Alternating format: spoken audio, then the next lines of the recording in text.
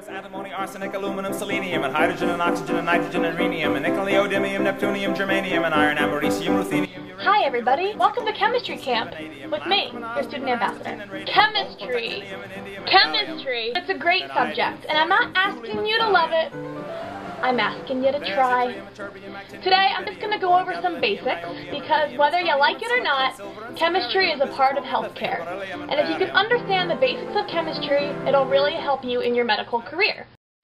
Okay, so the first and most basic aspect of chemistry is none other than the periodic table. So let's look at it. okay, so as you see on the left side are your metals, metalloids, and transition metals. They're in the bluish and greenish colors. On the right side are your are your nonmetals, excuse me, your nonmetals. On the right side are your nonmetals. And these are in the pink reddish color, okay?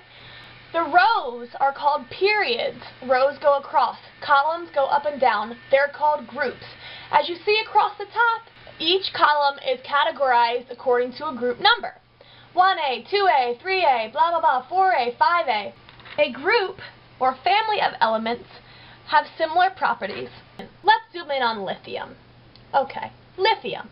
The numeric value on top of the letters that the element stands for, in this case Li, is your atomic number. The atomic number is the amount of protons in that element.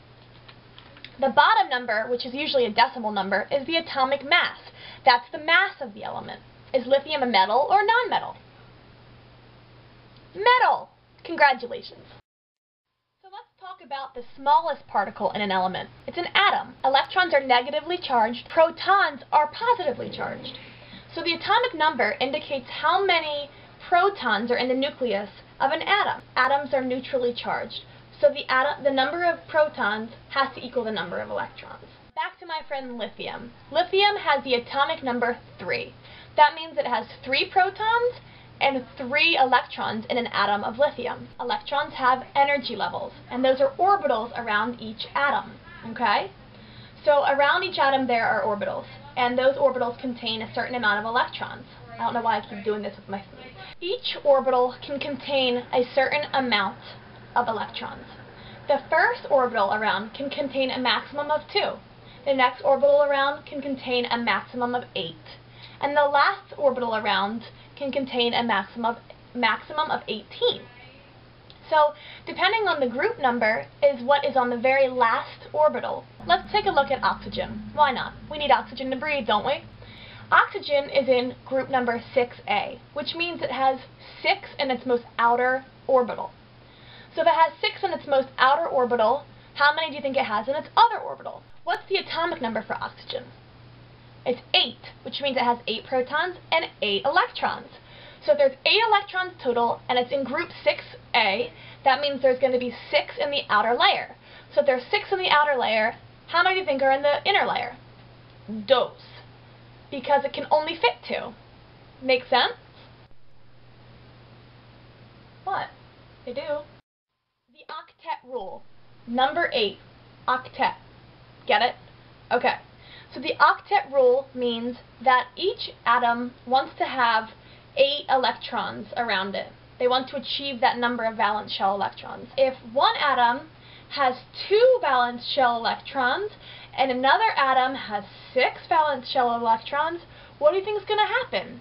Boom! Making an ionic bond. They're going to bond together and become one. For example, sodium chloride. Take sodium, Na. There is one valence shell electron. You know that because it's in group 1A. And chlorine. Chlorine is in group 7A, so there's 7. So what does 7 plus 1 equal? Hold on, let me get my calculator.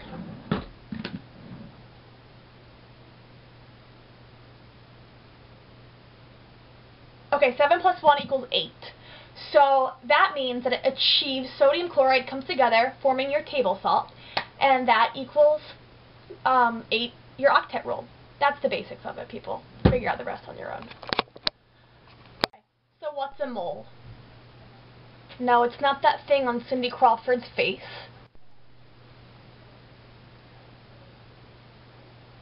No.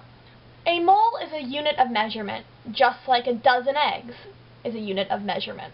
In chemistry, we use the mole as a unit of measurement to measure how many ions or molecules or atoms are in a given element.